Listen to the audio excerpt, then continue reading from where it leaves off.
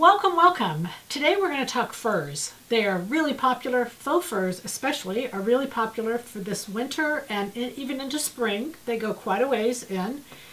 And the new furs, we've got three different ones. They're light, they're comfortable, so they don't have to be coats. They can actually be blouses that we wear underneath, which is kind of what I did with this one. So I'm going to show you our furs.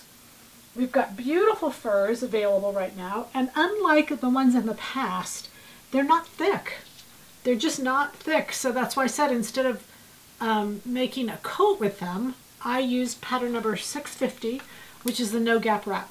Very simple to do. But I'm going to tell you a few things that I considered while I was doing this through the process.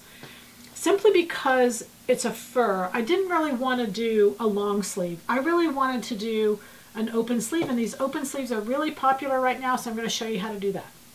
Okay, so let, us first take a look at the one I have on. We'll first take a look at the very front, because you can see these photos better than you can see me standing here. So we'll take a look at the front, and then we'll take a look at the button up close, because I didn't want to do a buttonhole. I felt like that would be a little difficult.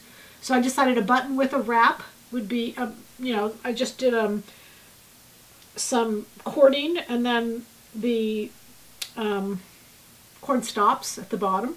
So that was just a really simple way to do this. We've done the wrap top many times before. I took away the collar because again I felt like the collar would be just too bulky and too hard to deal with, too hard to flip. If you look really close at this next picture you can see where I did leather piping. Just up the front around the neck and then back down the other side, just in those little places. In the back you can see this is light enough that you can actually do some gathering. You can, you know, so you can actually gather and it looks really nice. And then if this last picture, what I did is I did a shirt tail hem because the shirt tail hem is on this pattern. It's already on there. And so I left it. The only thing I did is I cut it six inches longer than the pattern because I wanted it fingertip length. So that's a good length to go by. Just put your fingertips by your side and where they hit is where you can say that's where I want it to be. It looks great with leggings, with boots, with all kinds of stuff. The furs are just so popular. And again, these faux furs especially are just really, really, uh, a lot of people are just having a lot of, a lot of designers are having a lot of fun with them. So on the sleeve, let's go to this because the rest of it is just simple and easy, just as much as making a blouse. It won't take you a couple hours. Um, and faux fur is very, very pricey as we go to the store. So on the sleeve, you can see that where you're going to stop stitching is right about the elbow because you want to be able to bring your arm forward without constriction. That was my main concern is I wanted to be mobile in it. And I could still wear it, I could still wear a long sleeve shirt with it if I wanted to and have the long sleeve come out. Or I decided I could put a little button right here at the bottom and make it kind of a, a little slit sleeve.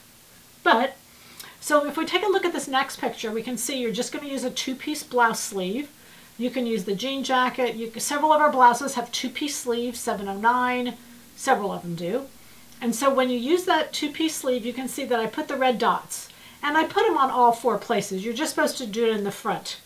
You're going to stitch all the way in the back, and then on the front, you're just going to stitch, and it's right about your elbow.